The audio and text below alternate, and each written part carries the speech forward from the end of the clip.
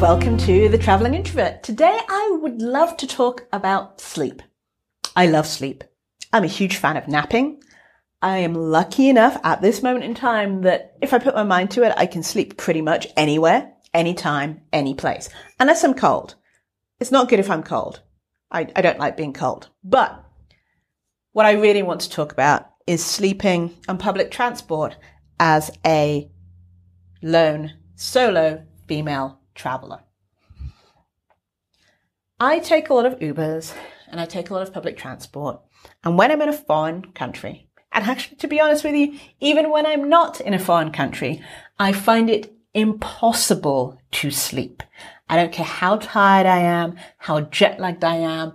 I will not sleep if I am in a taxi, an Uber, a Lyft, or whatever transport, train, bus, eh, public, like small commuter buses.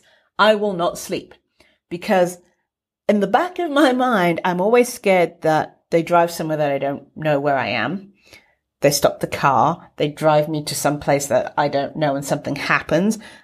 The other thing I do like to do is when I'm on my way to my new location, I like to see where the nearest supermarket is or restaurants that are around where we are. And I'm always got my GPS sort of Google offline maps tracking me to make sure I'm not going the wrong way or the scenic route that happens. Now, I didn't think this, I thought this was fairly normal behavior, to be honest with you. I've always sort of traveled this way and being aware of my, or hyper aware of my surroundings has always been something that I just did. And recently I'm traveling with my partner and my partner sleeps in Ubers and sleeps on public transport. And it boggles my mind because I, I, I can never be that relaxed to sleep. And bearing in mind, I just said I can sleep anytime, any place, anywhere. I, I refuse to do it because anything could happen and I'm asleep, uh, basically incapacitated until you get woken up by, you know, a knife at your throat or you're in the wrong place and it's too late because they've charged you a bunch of money or whatever it might be.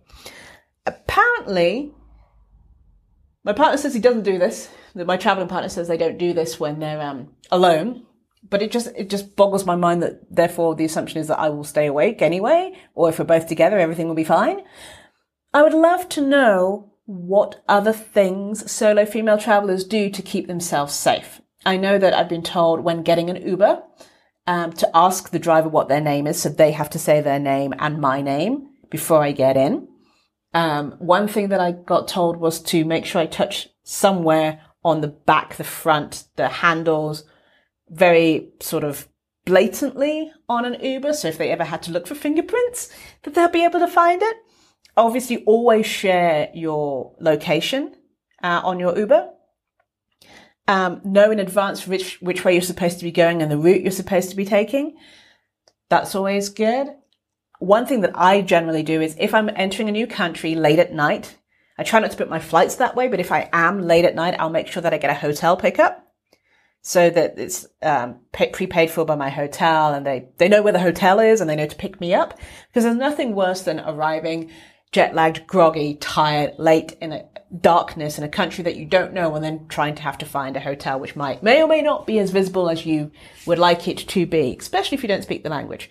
So that's one thing that I do. Even though there tends to be a higher than average cost involved, I just, it gives me better peace of mind. Um, another thing as traveling solo, I try not to get dropped off at my door. Um, maybe there's a block of flats that's close by, so I could be like in any one of those flats. But if there's like a single house, I'll try not to get dropped off there. I'll get dropped off at the corner store or like the nearest supermarket or somewhere that's really not my place, but my Uber driver can't come back and find me.